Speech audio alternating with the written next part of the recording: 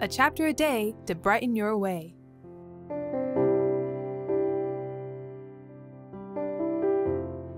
God's love always gives us new hope. Hello, friends. Let us read the Bible together. Today we'll be reading Isaiah chapter 11. In Hebrew, the name Isaiah means God saves. During Isaiah's time as a prophet, the nation began to decline, so he shouldered the responsibility of constantly preaching the true meaning of his name. God would give salvation to everyone. Let's read chapter 11 together. Isaiah chapter 11 There shall come forth a shoot from the stump of Jesse, and a branch from his roots shall bear fruit. And the Spirit of the Lord shall rest upon him the Spirit of wisdom and understanding, the Spirit of counsel and might, the Spirit of knowledge and the fear of the Lord. And his delight shall be in the fear of the Lord. He shall not judge by what his eyes see, or decide disputes by what his ears hear. But with righteousness he shall judge the poor, and decide with equity for the meek of the earth.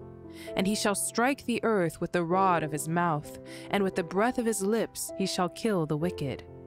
Righteousness shall be the belt of his waist, and faithfulness the belt of his loins. The wolf shall dwell with the lamb, and the leopard shall lie down with the young goat, and the calf and the lion and the fattened calf together, and a little child shall lead them. The cow and the bear shall graze, their young shall lie down together and the lion shall eat straw like the ox.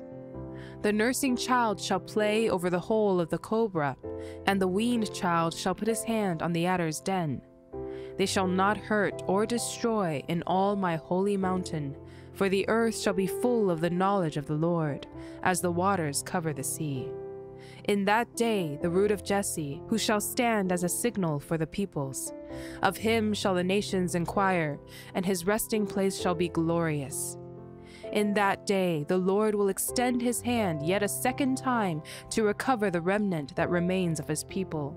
From Assyria, from Egypt, from Pathros, from Cush, from Elam, from Shinar, from Hamath, and from the coastlands of the sea. He will raise a signal for the nations, and will assemble the banished of Israel, and gather the dispersed of Judah from the four corners of the earth. The jealousy of Ephraim shall depart, and those who harass Judah shall be cut off. Ephraim shall not be jealous of Judah, and Judah shall not harass Ephraim. But they shall swoop down on the shoulder of the Philistines in the west, and together they shall plunder the people of the east. They shall put out their hand against Edom and Moab, and the Ammonites shall obey them. And the Lord will utterly destroy the tongue of the sea of Egypt, and will wave his hand over the river with his scorching breath, and strike it into seven channels, and he will lead people across in sandals. And there will be a highway from Assyria for the remnant that remains of his people, as there was for Israel when they came up from the land of Egypt. Jesse was David's father, and the prophet Isaiah said, There shall come forth a shoot from the stump of Jesse, and a branch from his roots shall bear fruit.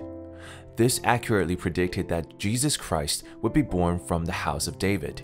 He showed the people of the southern kingdom of Judah that although they were being disciplined, they would not be uprooted, thanks to God's faithfulness and grace. Dear friends, no matter what has happened in the past, the old has passed away, and the new has come. I believe that as long as you are willing to return to God, there will always be new hope. Let's pray. Dear Jesus, please forgive me for my past mistakes and lead me to a new beginning in your love. In Jesus' name we pray. Amen. A chapter a day to brighten your way. See you tomorrow. Jesus loves you, and I love you too.